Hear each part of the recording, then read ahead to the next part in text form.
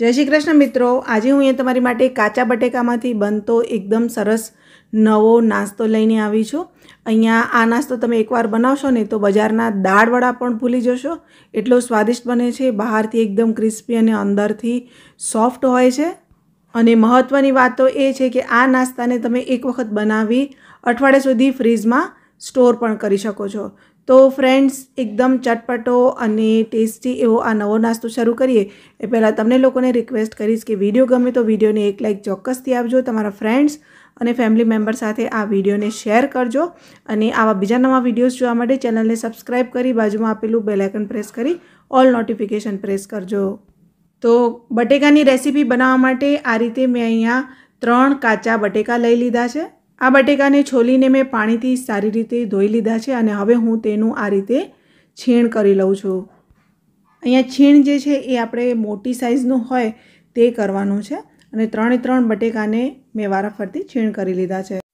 બટેકાની આ છીણ કાળી ન પડી જાય એટલા માટે હું તેને એક બાઉલમાં પાણી ઉમેરી તેમાં ઉમેરી લઉં છું. હવે આનો ઉપયોગ આપણે આગળ કરવાનો છે. ત્યાં સુધી આ છીણને પાણીમાં રાખીશું. કાચા બટેકાનો આ રીતે નાસ્તો બનાવવાથી આપણા વડા એકદમ ટેસ્ટી બને છે અને ક્રિસ્પી પણ વધારે બને છે અને તળવામાં તૂટતા પણ નથી. તો હવે અહીંયા કઢાઈમાં મેં આ રીતે બે ચમચી જેટલું તેલ ગરમ કરવા માટે મૂક્યું છે. તેલ ગરમ થાય એટલે આપણે તેની અંદર આ રીતે અડધી ચમચી જીરું એડ કરીશું અને ત્યારબાદ આપણે તેની અંદર ઝીણા સમારેલા ત્રણ લીલા મરચાં એડ કરીશું.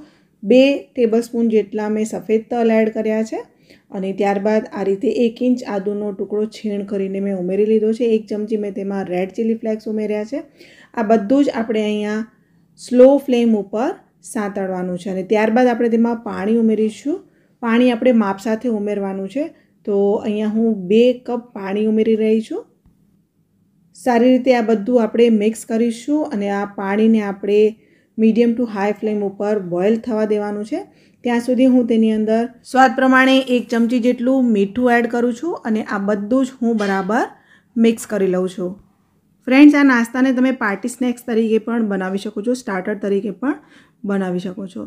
અહીંયા બટેકાની છીણને મેં જારામાં કાઢી લીધી અને હવે આ બટેકાની છીણને આપણે કઢાઈમાં ઉમેરી લેવાની છે અને આ બધું આપણે ફરીથી એક વખત મિક્સ કરી લઈશું. હવે આ કઢાઈને આપણે ઢાંકી લઈશું અને ગેસની ફ્લેમને આપણે મીડિયમ ઉપર રાખીશું. મીડિયમ ફ્લેમ ઉપર લગભગ એક મિનિટ માટે મેં તેને કૂક કર્યું અને વચ્ચે આ રીતે ઢાંકણ ખોલી હું તેને એક વખત ચલાવી લઉં છું અને ત્યારબાદ ફરીથી હું તેને ઢાંકીને એક મિનિટ માટે કૂક કરું છું. તો ટોટલ મેં બે મિનિટ માટે આ રીતે તેને કૂક કરી છે અને છીણ જે છે એ અધ કચરી આપણી અહીંયા બફાઈ ગઈ છે. તો છીણ આ રીતે બફાઈ જાય એટલે આપણે તેની અંદર એક કપ સૂજી એડ કરી દઈશું. અને ત્યારબાદ આપણે તેની અંદર અડધો કપ ઝીણા સમારેલા લીલા ધાણા એડ કરીશું. તો ધાણા આ રીતે થોડાક વધારે ઉમેરીશું તો આપણો નાસ્તો દેખાવમાં પણ સરસ બનશે અને હેલ્ધી પણ બનશે.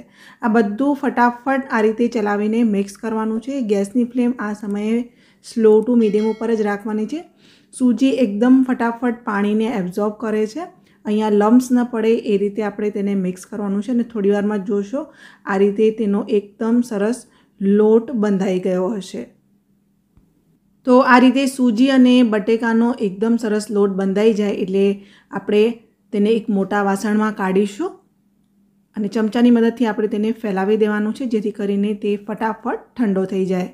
તો ત્યાં સુધી આપણે અહીંયા એક ચટણી તૈયાર કરી લઈએ. તો મેં બે ટેબલ સ્પૂન લસણ લીધું છે, બે લીલા મરચાં લીધા છે અને એક ડુંગળી મેં આ રીતે રફલી ચોપ કરીને એડ કરી લીધી છે. ત્યારબાદ અહીંયા હું ચાર ટેબલ સ્પૂન એટલે કે વન ફોર્થ કપ જેટલા શેકેલા ચણા એડ કરી રહી છું. આનાથી ચટણીનો કલર પણ સરસ આવશે અને ચટણી એકદમ થીક બનશે. સ્વાદ પ્રમાણે એક ચમચી મેં મીઠું ઉમેર્યું છે અને ત્યારબાદ હું તેની અંદર આ રીતે એક ચમચી ખાંડ ઉમેરું છું. અડધી ચમચી હું તેની અંદર આમચૂર પાવડર એડ કરી રહી છું અને સો ગ્રામ જેટલા લીલા ધાણા પાણીથી સારી રીતે ધોઈને મેં ઉમેરી લીધા છે. અને અહીંયા મેં થોડુંક પાણી એડ કર્યું છે અને હવે આપણે તેને ઢાંકીને મિક્સરમાં ગ્રાઇન્ડ કરી લઈએ. તો અહીંયા આ ચટણીને ગ્રાઇન્ડ કરવા માટે મેં અગારોના ગ્રાન્ડ કમર્શિયલ મિક્સર ગ્રાઇન્ડરનો ઉપયોગ કર્યો છે, જે ચૌદસો વોટની મોટર સાથે આવે છે અને ખૂબ જ ફાસ્ટલી તેની અંદર વેટ અને ડ્રાય ગ્રાઇન્ડિંગ થઈ જાય છે. અહીંયા જો ચટણી એકદમ ફટાફટ ગ્રાઇન્ડ થઈ ગઈ છે, મેં ત્રીસ સેકન્ડમાં જ તેને ગ્રાઇન્ડ કરી છે અને ફાસ્ટલી ગ્રાઇન્ડ થવાના લીધે ચટણીનો કલર પણ કાળો હવે સૂજી અને બટેકાનું મિશ્રણ જે ઠંડુ કરવા રાખ્યું હતું તે થોડુંક ઠંડુ થયું છે. હાથ લગાડી શકાય એટલું ઠંડુ થવું જોઈએ. તેની અંદર મેં અહીંયા વન ફોર્થ કપ જેટલા અધકચરા વાટેલા સિંગદાણા ઉમેર્યા છે. એને આપણે બરાબર મિક્સ કરી લઈએ. આ મિશ્રણ થોડુંક નવસેકું હશે તો તમારો આ જે લોટ છે તે એકદમ સરસ સ્મૂથ બનશે અને વડા પણ એકદમ સરસ ક્રિસ્પી બનશે. થોડુંક ઓઇલ ઉમેરી આ રીતે આપણે તેને મિક્સ કરીને સ્મૂથ કરીશું. બાફેલા બટેકાની કટલેટ્સ તો તમે ઘણીવાર બનાવી હશે, પણ કાચા બટેકાનો આ નાસ્તો એકવાર બનાવશો ને તો બાફેલા બટેકાની કટલેટ્સ પણ ભૂલી જશો અને દાળવડા પણ ભૂલી જાઓ, એટલા ક્રિસ્પી અને અંદરથી પોચા બને છે. તો હાથમાં થોડુંક ઓઇલ લગાવી આ રીતે આપણે બોલ તૈયાર કરવાના છે. આને તમે અલગ અલગ શેપમાં બનાવી શકો છો. આ રીતે એકદમ સરસ રાઉન્ડ બોલના શેપમાં પણ તેને બનાવી શકાય છે. અને જો તમે ઈચ્છો તો તેને લંબ ગોળાકાર એટલે કે ઓવલ શેપમાં પણ તમે તેને બનાવી શકો છો. કોઈ પણ શેપ આપશો ને આની અંદર આપણે આપી શકીએ છીએ અને ફ્રાય કરતી વખતે તે ખુલતા નથી. તો આ રીતે જો લંબ ગોળાકાર શેપમાં બનાવી શકાય. અને જો બાળકોને પસંદ આવે તેવું જ બનાવવું હોય તો તમે તેને ફિંગર શેપમાં પણ બનાવી શકો છો. તો આ રીતે થોડુંક મિશ્રણ લઈ અને હાથમાં આ રીતે તેને થોડુંક પતલું અને લાંબુ કરવાનું એટલે એકદમ સરસ ફિંગર શેપ તૈયાર થઈ જશે. મેં અત્યારે આને ગોળ શેપમાં જ બનાવ્યું છે એટલે નાના નાના બોલ્સ સ્વરૂપે જ તેને બનાવ્યું છે. આ શેપ બનાવવો પણ એકદમ ઇઝી હોય છે અને અટ્રેક્ટિવ પણ લાગે છે. તો તેલને મેં ગરમ કરી લીધું અને તેલ ગરમ થાય એટલે આપણે તેની અંદર ફ્રાય કરી લઈએ. તો આ રીતે જે મેં બોલ્સ બનાવ્યા છે, આ રીતે તમે બોલ્સ બનાવી તેને એરટાઇટ ડબ્બામાં મૂકી અને ફ્રીઝરમાં સ્ટોર કરશો તો એક અઠવાડિયા સુધી ખરાબ નહીં થાય અને જ્યારે મન થાય ત્યારે તમે તેને બહાર કાઢી ફ્રાય કરીને સર્વ કરી શકો છો. રાઉન્ડ શેપમાં છે, નાના નાના બોલ સ્વરૂપે છે અને એ બધી બાજુ એક સરખા તળાય તે માટે આ રીતે જારાની મદદથી તમારે તેને વચ્ચે વચ્ચે ચલાવતા રહેવાનું. ફ્રેન્ડ્સ આ વીડિયો તમે ક્યાંથી જોઈ રહ્યા છો? તમારા ગામનું નામ અને તમારું નામ કોમેન્ટ સેક્શનમાં લખજો એટલે મને ખબર પડે મારા વ્યૂઅર્સ કોણ છે. અને ક્યાંથી મારી ચેનલને રેગ્યુલરલી જોતા રહે છે. તો અહીંયા આપણા જે આ યમ્મી અને ક્રિસ્પી બોલ છે, એ આ રીતે ગોલ્ડન બ્રાઉન કલરના થાય, ત્યારે આપણે તેને બહાર કાઢીશું. આ રીતે ગોલ્ડન બ્રાઉન થશે ને, ત્યારે જ તે એકદમ સરસ ક્રિસ્પી પણ બની જશે.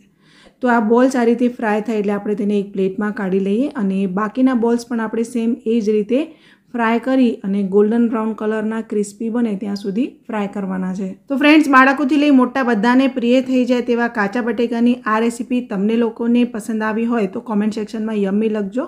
એક વખત આ રેસીપી ટ્રાય કરજો અને તમારા અનુભવ અમારી સાથે કોમેન્ટ સેક્શનમાં શેર કરજો. વીડિયો ગમ્યો હોય તો લાઇક કરજો, ના ગમ્યો હોય તો ડિસલાઇક પણ કરી શકો છો.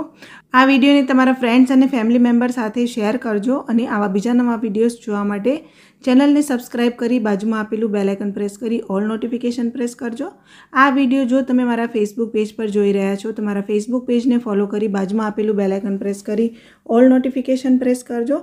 ઇન્સ્ટાગ્રામ ઉપર પણ તમે અમને ફોલો કરી શકો છો. ત્યાં દરેક રેસીપીને હું રીલ સ્વરૂપે પોસ્ટ કરતી રહું છું. આ વિડીયોને અહીંયા જ સમાપ્ત કરું છું. ફરીથી મળીશું એક નવી રેસીપી સાથે. ત્યાં સુધી તમને બધાને મારા જય શ્રી કૃષ્ણ.